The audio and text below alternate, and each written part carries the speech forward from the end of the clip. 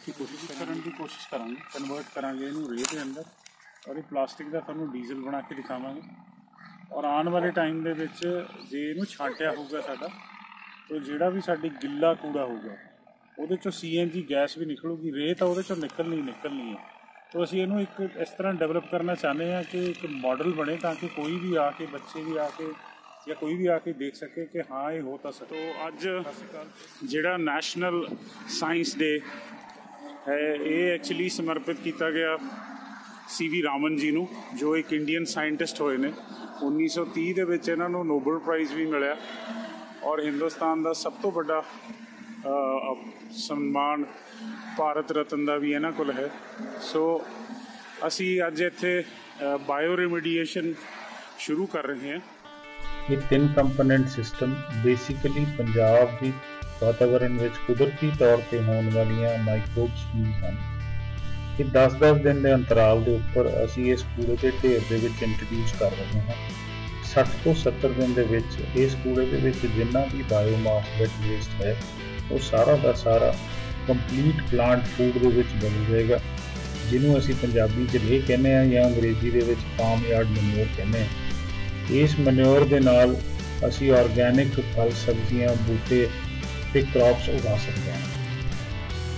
ਵਿੱਚੇ ਪਾ ਦੋ ਜੀ ਚਾਹੇ ਅੱਛਾ ਚੱਲੀ ਜਾਣ ਦਾ 5 ਮਿੰਟ ਭੁੱਲ ਜੂਗਾ ਹਾਂਜੀ ਅੱਛਾ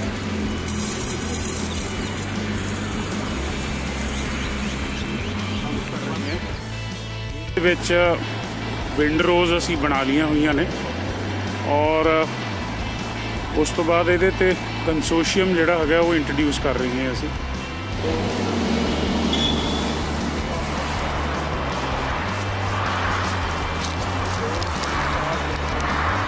ਬਣ ਗਿਆ ਉਹਦਾ ਸੈਗਰੀਗੇਸ਼ਨ ਵੀ ਬ੍ਰੇਕਰ ਉਹਦੇ ਵਿੱਚ 1000 ਲੀਟਰ ਦੇ ਵਿੱਚ ਐਡਡ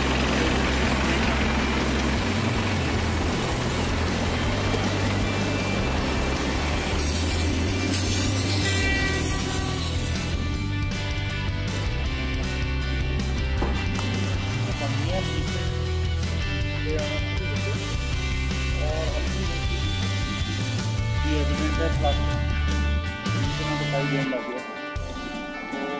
ਹੁਣ ਇਹਦੀ ਫਿਲਿੰਗ ਕਰਾਂਗੇ ਆਪਾਂ। 10 ਦਿਨ ਬਾਅਦ।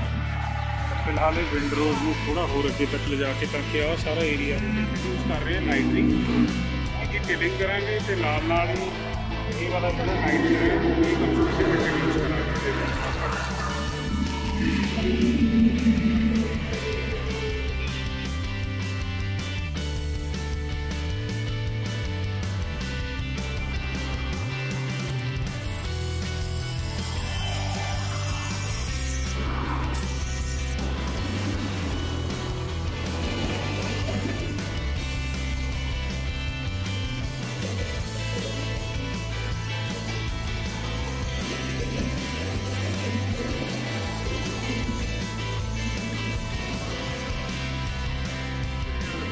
ਇਹ ਹੁਣ ਤੀਸਰਾ ਕੰਪੋਨੈਂਟ ਹੈ ਡੀਨਾਈਟਰੀ ਜਿਹੜਾ ਹੁਣ ਅੱਜ ਅਸੀਂ ਇੰਟਰੋਡਿਊਸ ਕਰਾਂਗੇ।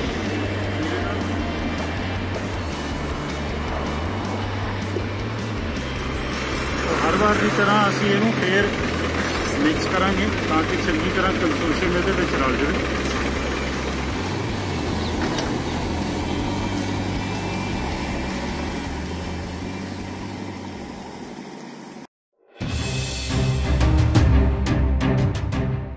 ਸੁਣ ਸੁਣ ਜੀਵਾ ਤੇਰੀ ਬਾਣੀ। ਸੁਣ ਸੁਣ ਜੀਵਾ ਤੇਰੀ ਬਾਣੀ। ਮੇਰੇ ਸਾਹਿਬ ਮੇਰੇ ਸਾਹਿਬ ਮੇਰੇ ਸਾਹਿਬ ਮੇਰੇ ਸਾਹਿਬ।